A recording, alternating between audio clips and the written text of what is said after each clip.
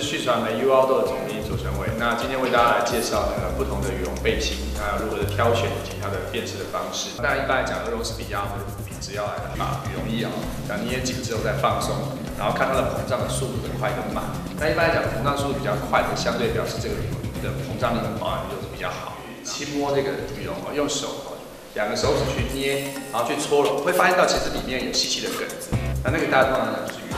如果是化纤的话，你整个捏大家就觉得很厚的话，呃，跟子少的是比较好的，是这是比较好的一种材料。